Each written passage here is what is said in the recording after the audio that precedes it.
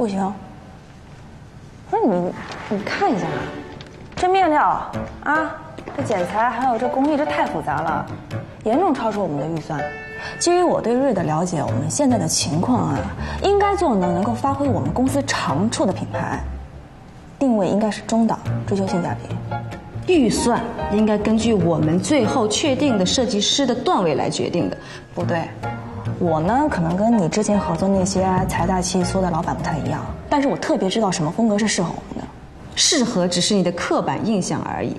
今天我们要做自己的原创品牌，那眼光就要放大一点，眼界就要放宽一点。我们除了瑞以外的市场是不是更大？今天给你们看的这只是草图，等它成草图变成了成衣，还是需要个打磨的过程。不要这么急于去判断它。再说了，这个品牌是蒋哲阳的服装品牌，这个设计跟蒋哲阳不吻合吗？你刚刚说什么打磨是吗？打磨是需要时间的，我们需要是现在的设计。您之前的设计也是不需要打磨就直接去进场了吗？不需要直接去谈品牌。我们就是这么速度，你知道吗？一说你说什么蒋哲阳，蒋哲阳是大家吗？适合蒋哲阳的不一定适合大家。是不是打着蒋哲阳的旗号去做品牌吧？那是不是要跟他风格统一吧？我们就是这样。草图，这个这个蒋哲阳啊，那那个，我觉得蒋哲阳这个事儿，哎呀，我对你们说的都都都有都有道理啊，但是。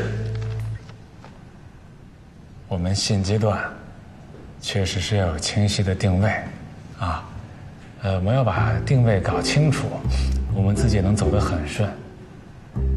但是这个设计我确实非常的喜欢，设计真的非常好，呃，不排除可尝试的可能嘛。但是这种服装对现阶段的瑞来说，确实是有些困难。但是什么话不能说太死，是不是？呃，但是分歧还是要解决的啊。所以我觉得我们还是回去啊，好好考虑考虑，考虑出一个最中和的，对我们品牌利益最大的解决方式。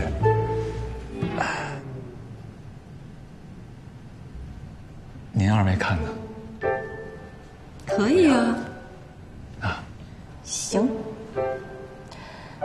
们仨各自好好想想，下回碰，散。哎呀，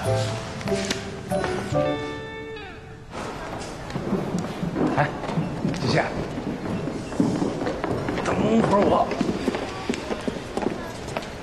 哎，这公司管理层会议你们耍小孩子脾气啊？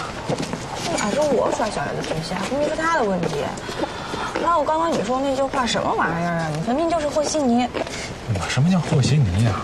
我作为公司股东，咱们公司管理层的会，我需要保持中立啊，对不对？我的把一切利益出发点都以公司为主，是不是？你这人怎么那么油嘴滑舌呢？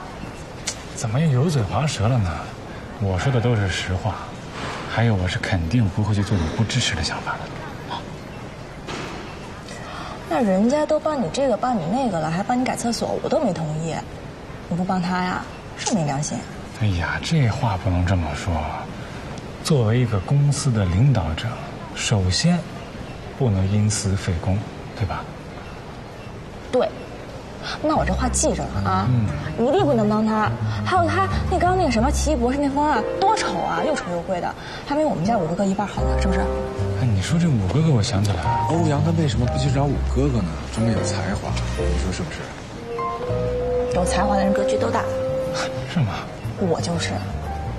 对，有才华的人格局都大。哎呀，这话说的真有道理，很有哲学感啊。你刚才惹我生气了，你亲我一下呗。亲，亲亲。